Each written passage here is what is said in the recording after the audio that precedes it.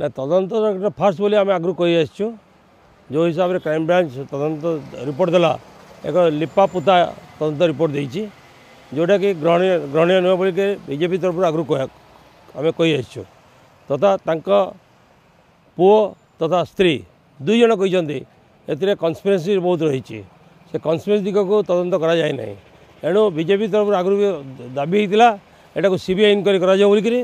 아지 মধ্যম দাবি করুজি যদি সিবি ইনকোয়রি করা যায় তেবে বিজেটি ৰ কি যে প্রমুখ নেতা তথা বর্তমান সরকার চলো ধবা জনে অলোড়িয়া ব্যক্তি এতিয়া সসিজো থিবা পদারে প্রকাশ পাইবা যদি आपणক হাম ভিডিওটি ভাল লাগিলা তেবে হাম চ্যানেল কো লাইক শেয়ার অ সাবস্ক্রাইব কৰিবাকু জমা বি বুলন্ত নাহি